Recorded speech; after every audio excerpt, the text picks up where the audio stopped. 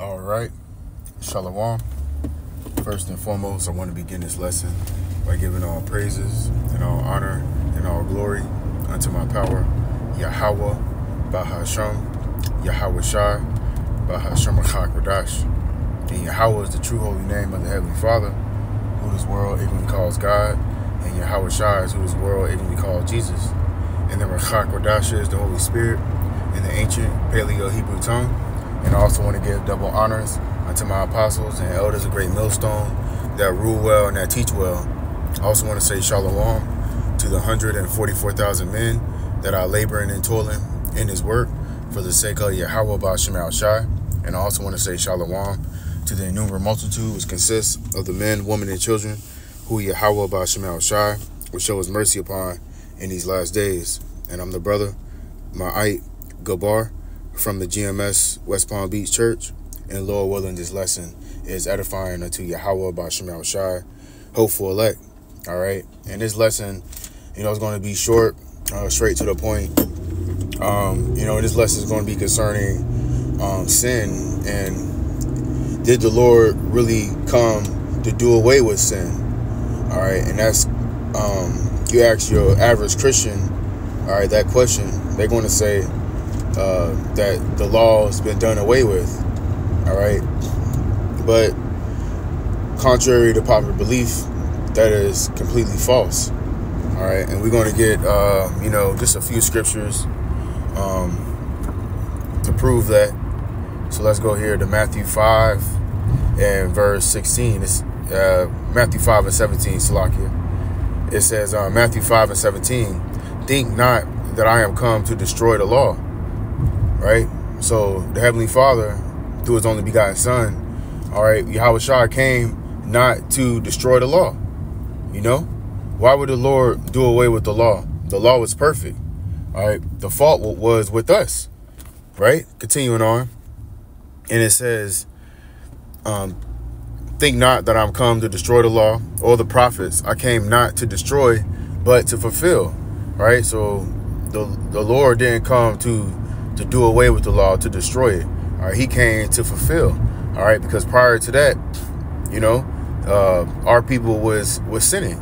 So Yahweh Shai, he came in the flesh, all right, and he walked perfectly in the flesh. So now Yahweh Shai is our um, role model. All right, he's our prototype of how to of how to conduct ourselves when we in the flesh. You see, because Yahweh Shai, he he dealt he dealt with the same you know, things that we went through. I mean, that, that we go through. All right. He was enticed to sin. You know, he was um, battling the spiritual demon Satan spiritually. All right. You read uh, back uh, Matthew, the fourth chapter, you know, start at the top.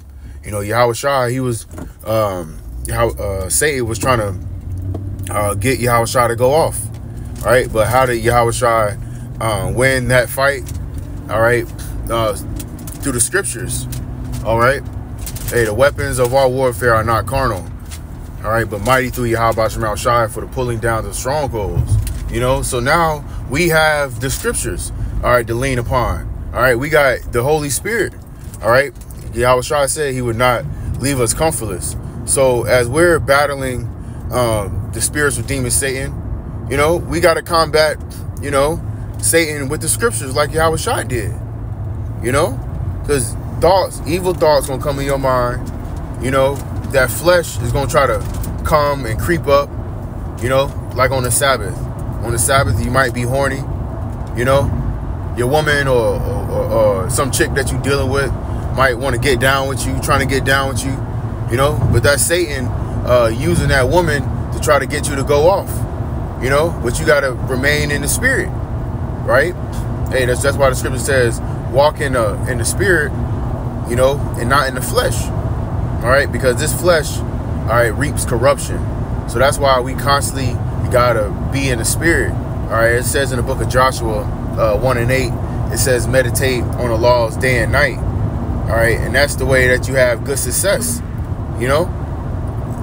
So continuing on, uh, with verse 18, it says, For verily I say unto you, till heaven and earth pass, one jot or one tittle shall in no wise pass from the law to all be fulfilled. So not even one jot, not even one little dot, okay, did the Lord um, do away with, okay? And you ask, you know, uh, your average Christian about um, when you start talking about laws, you know, and, and they and they like, man, the Lord not gonna kill me, you know, for just for smoking a little bit of weed, you know. It ain't like I'm killing nobody.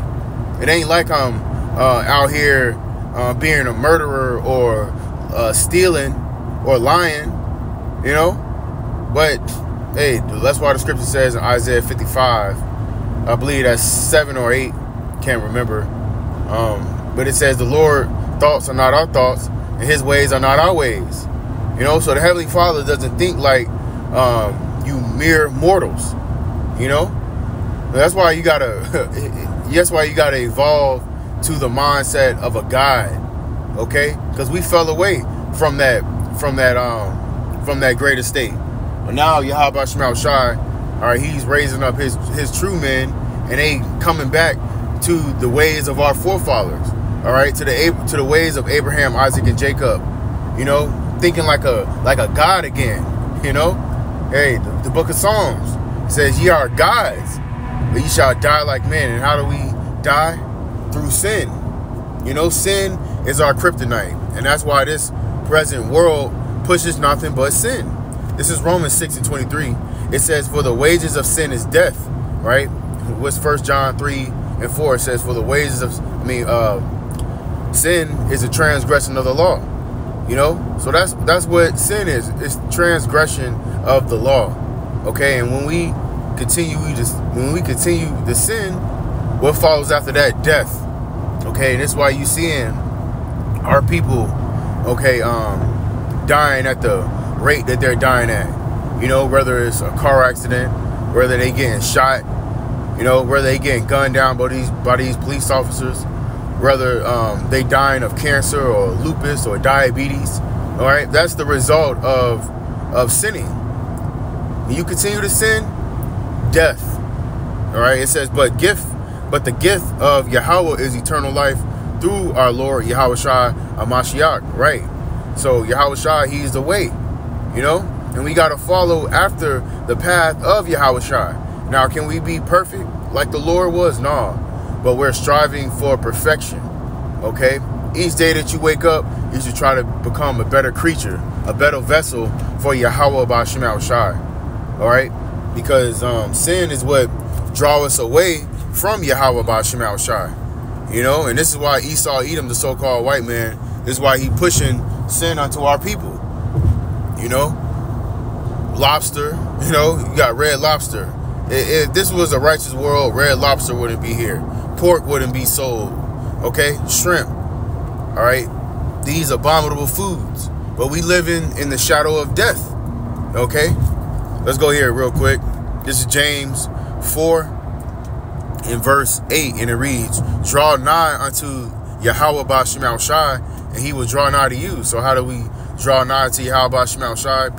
All right, Hosea 5 and 15, it says, the Lord, he hid his face from us.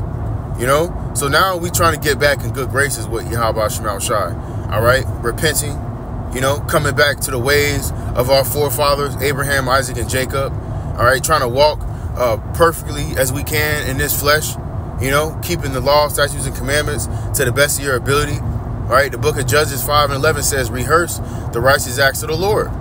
You know? So we we're we're we're trying, you know, and that's what the Lord is looking for. You put in your your best foot forward, you know, and there's no fooling Yahweh Shemel Shai. All right, the Lord knows your thoughts. You know, He knows your intents of the heart. Continuing on, says, "Cleanse your hands, ye sinners, and purify your hearts, ye double-minded." All right, so you got to cleanse your hands from this wickedness. You know, you was smoking weed, you stop that shit. All right, you was uh, um, smoking vapes and cigarettes and Black and Milds, you stop. You getting lineups, you stop doing that. You getting tattoos, you stop doing that. You know, start keeping the ways of, of, of old.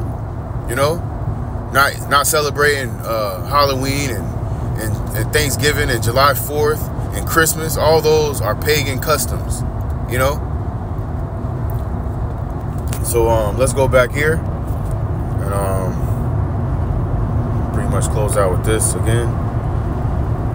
This is Matthew 5 and 19, and it reads, Whosoever therefore shall break one of these least commandments and shall teach men so.